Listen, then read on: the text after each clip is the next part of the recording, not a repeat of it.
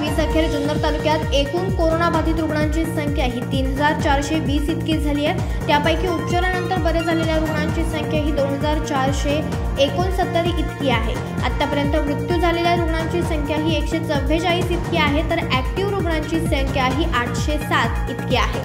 सत्तावीस सप्टेंबर दोन हजार वीस रोजी जुन्नर तालुक्यात एकूण एक्कावन्न कोरोनाबाधित रुग्णांची भर पडली आहे. यामध्ये नारायणगाव सहा पिंपरी पेंढार चार आगार चार त्याचबरोबर खोडद तीन बोरी तीन रोहकडी तीन बेल्हे तीन आळे दोन निमगाव सावा दोन कांदळी दोन पिंपळवट्टी दोन पारुंडे एक येडगाव एक ओझर एक जाधववाडी एक अहिनवेवाडी एक हिवरे खुर्द एक पारगावतर्फे आळे एक साकोरी एक आणे एक राजूर नंबर एक त्याचबरोबर वडगाव आनंद एक वारोडवाडी एक कोथूर एक शिरोली खुर्द एक पिंपळगाव एक हिवरे बुद्रुक एक आणि धनगरवाडी एक.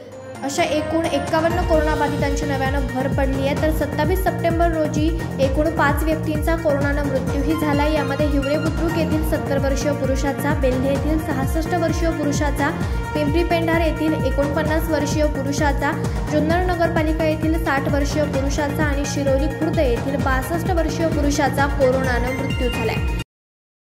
बातमी संकलन नितीन कांबळे मुख्य संपादक आज चोवीस तास जुन्नर.